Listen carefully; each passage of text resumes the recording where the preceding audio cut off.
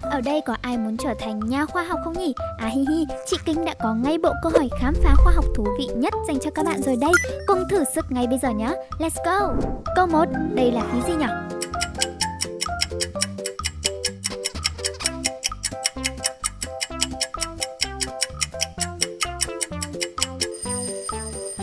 Đúng là câu mở đầu, dễ như trở bàn tay anh em nhỉ. Đáp án chính là oxy chứ còn gì. Đây là khí hết sức quan trọng với con người nói riêng và tất cả các sinh vật sống nói chung. Thế thì đố bạn, thực vật hay động vật là nguồn cung cấp oxy cho trái đất đấy?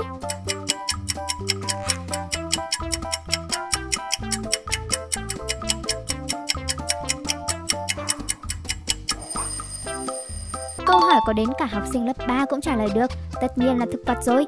Trong quá trình quang hợp, vật đã thải ra khí oxy, riêng rừng Amazon đã đóng góp lên tới 20% khí oxy cho trái đất đấy. U là trời, đúng ra thì mình đang hít khí thải của cây xanh đấy các ông ạ. Mà có thể bạn đã biết thì để cây xanh quang hợp cũng cần phải có ánh sáng nữa. Theo bạn, ánh sáng mặt trời hay ánh sáng bóng đèn sẽ tốt cho cây hơn?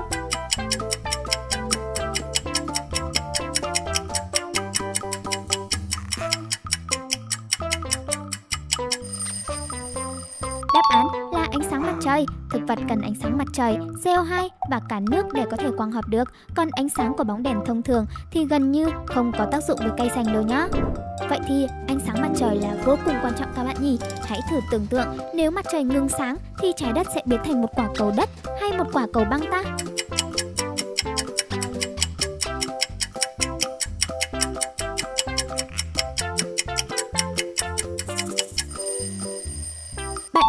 Trái đất sẽ dần dần mất đi thực vật, sau đó là động vật và khô héo trở thành một quả cầu đất ư? Oh no!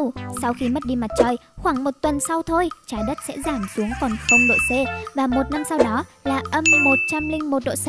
Vậy nên trái đất sẽ nhanh chóng trở thành một quả cầu băng đúng không nào?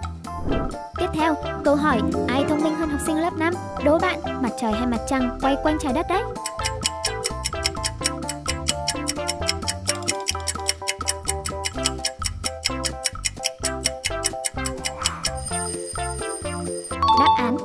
Trăng nha. Trái đất tự quay quanh mình và quay quanh mặt trời, còn anh trăng mặt trăng thì âm thầm quay quanh trái đất.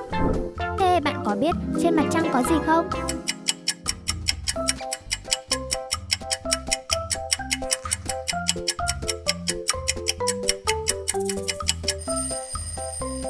Ai mà nghĩ có chị Hằng với chú Cuội thì đúng là tâm hồn ngây thơ hết phần thiên hạ rồi. Đáp án là sắt và nước đấy các bạn dân chơi ơi.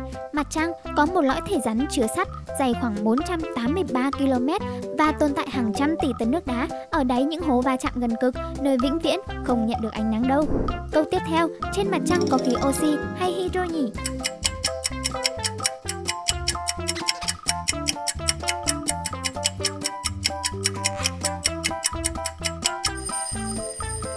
Ôi là trời, đáp án là hydro. Ngoài ra thì còn có cả neon và argon. Trên mặt trăng cũng có oxy nữa, chỉ là nó không ở dạng khí mà thôi. ấy thế nhưng vẫn có một số loài thực vật được trồng trên mặt trăng đấy nhá. Đố bạn, đó là cây xương rồng hay cây bông?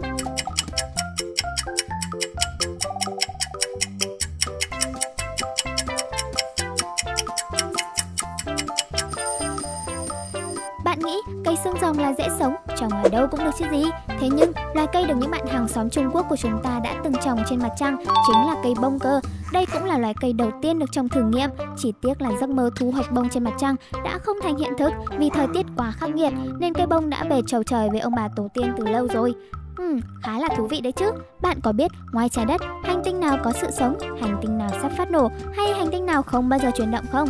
Nếu muốn biết thì nhanh tay like video này, đồng thời nhấn đăng ký kênh. Chị Kính sẽ bật mí ở ngay video tiếp theo nhé. Còn bây giờ thì xin chào và hẹn gặp lại. Bye bye.